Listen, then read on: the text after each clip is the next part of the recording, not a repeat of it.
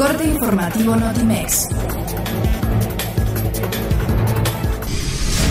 Personas encapuchadas prendieron fuego a una zona del edificio de rectoría de la Universidad Nacional Autónoma de México, en donde además rompieron cristales, destruyeron una caseta de vigilancia y una bandera, aprovechando una protesta de estudiantes por acoso sexual.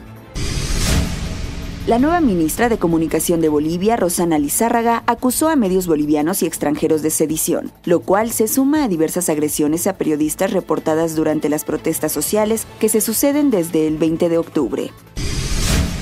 La secretaria de Gobernación, Olga Sánchez Cordero, afirmó que el derecho de las mujeres a vivir sin violencia es una deuda abierta. De ahí el compromiso del Estado mexicano de impulsar un plan de medidas emergentes para detener esta pandemia, con estrategias como la llamada Puerta Violeta.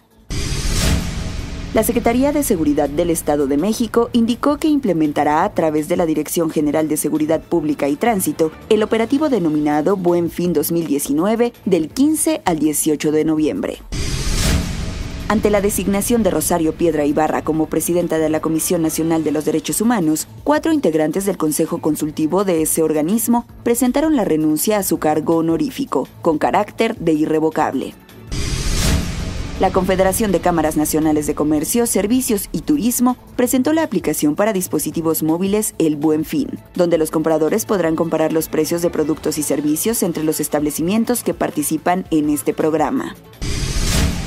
Al menos 30 estudiantes mantienen cerrada la Escuela Nacional Preparatoria número 3 Justo Sierra de la UNAM, que se ubica en la avenida Ingeniero Eduardo Molina, en la alcaldía Gustavo Amadero, para exigir la renuncia de cinco profesores por supuesto acoso sexual. Notimex, Comunicación Global.